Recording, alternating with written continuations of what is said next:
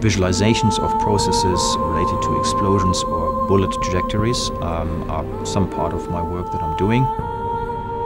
This came about more accidentally than anything else, and I was primarily interested in getting as much information about a flow field. And in the process, I happened to generate images that could be looked upon as parts of art.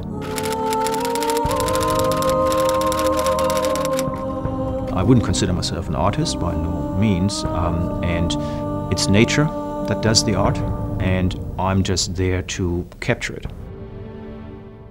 Instead of a, uh, a brush or a, um, a, chisel and a hammer to sort of sculpture something or some other tools, I use optical equipment to capture this. So I visualize something that is um, also invisible at the beginning.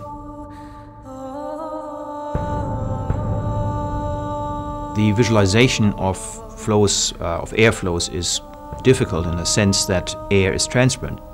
With the advent of high-speed video cameras that can, uh, that allow you to take these pictures of these very transient, very fast-moving uh, phenomena with frame rates of up to a million frames per second.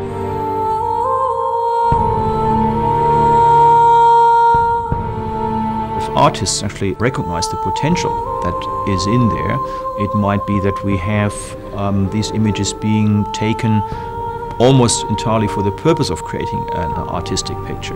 So we might see something like this hanging in a museum.